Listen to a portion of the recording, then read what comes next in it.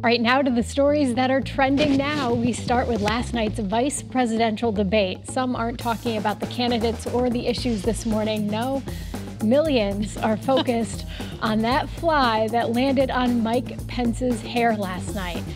It has its own hashtag. It's called Flygate. The bug made a home on Pence's head for about two minutes. Viewers watched every second of it. People at home are just having a field day with this. Check this out. This video that's getting plenty of attention this morning. The flies on the screen there. Oh. I went to bed too early. I didn't see it. I know I missed it too. But, but I would have been obsessed with that. I heard about it this morning when I woke up though. It doesn't end there. This is all over social media. This woman grabbed her fly swatter, held it up to the TV. That picture has hundreds of retweets. And finally, if it couldn't get any sillier, someone posted this picture suggesting that the fly is ready to be interviewed today from at least six feet away, of course. That is amazing. All of that was amazing. All right, well, some pets just go wild when their owners come home after a long day's work.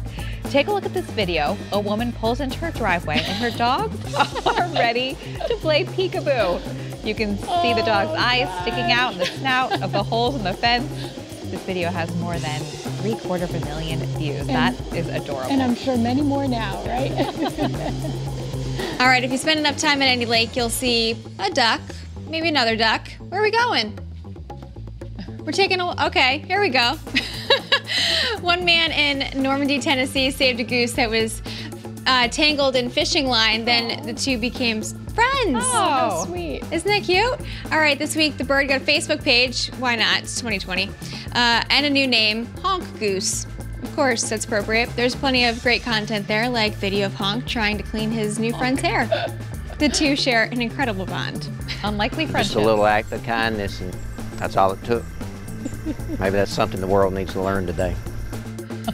Oh my goodness, Honk will eventually go back into the wild once he gets used to being around other geese. I love that his name is Honk. All right, stay with us. We'll be right back.